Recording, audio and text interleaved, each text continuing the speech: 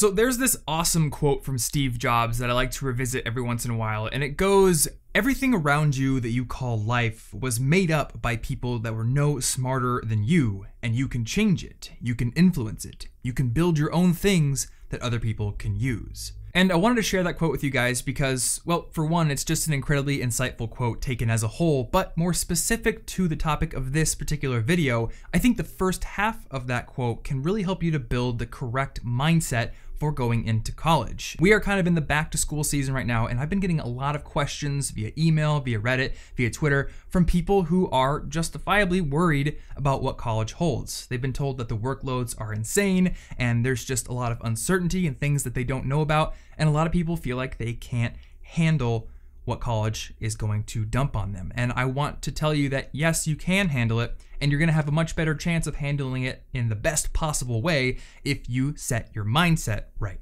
So, let me dispel a myth for you really quickly. There was actually a survey done of college students recently that found that 60% of students felt that they were emotionally unprepared for college, and more than 50% felt that they were stressed either most or all of the time. And honestly, these are worrying statistics and they're not good. And I'm hoping that the content on this channel can help in some small way to bring those numbers down as time goes on.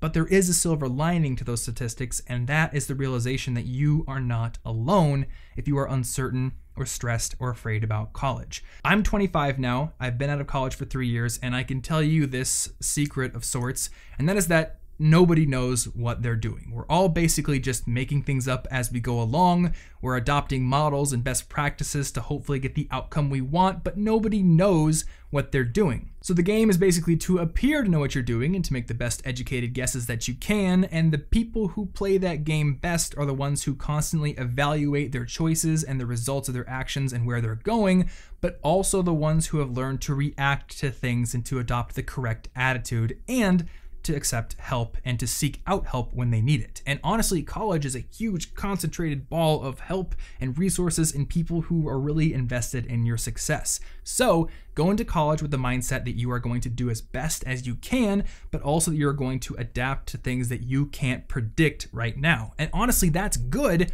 because that's the whole point of growth and in pursuing new opportunities. If you knew exactly what was coming, then it wouldn't be interesting, right? You're going to college because you're going to, you know, find new horizons basically.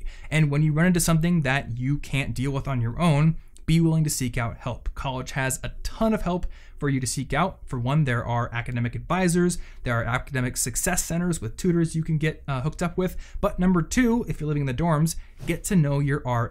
I was actually an RA once uh, during my junior year, and let me tell you, we went through intensive and extensive training to basically be able to answer every question a student might have in any area of your life. And even if we didn't know the answer ourselves, each of us had a huge binder in our dorm room with lots of on campus resources, and at the very least, we would be able to point a student in the right direction for any problem. So get to know your RA. Now, of course, there is a lot more you can do beyond just being willing to accept help, and one of those things is preparing yourself for everything that college is going to throw at you by reading books and listening to podcasts that have been made to help you out. This is actually what I did when I was a high school student. I went down to my local library and I read every single college prep book they had on the shelf, including one that I still personally own, which is How to Win at College by Cal Newport. And I think this is a great book. I also wrote a book on how to earn better grades, so that might be helpful. And a few weeks ago, my friend Martin and I did an entire podcast series called The Path to College. Now, the first episode was about how to get into college, the second one was about how to pay for it,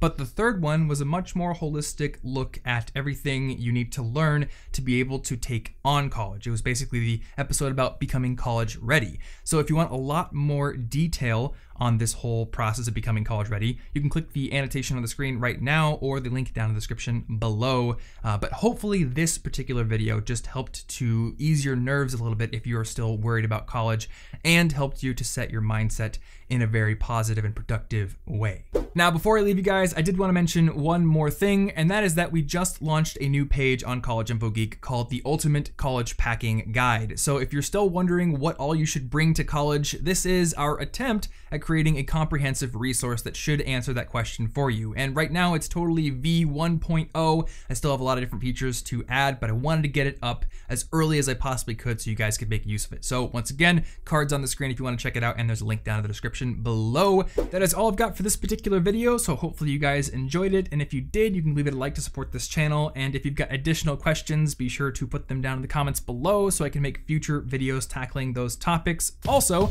if you want to get new videos every single week on being a more effective student, you can click your mouse button on the big red subscribe button down there. And if you want to get a free copy of my book on earning better grades, you can click your mouse button on the picture of the book right over there. If you missed last week's video, we talked about a concept called spaced repetition, which is a really effective learning technique, so check it out if you missed it.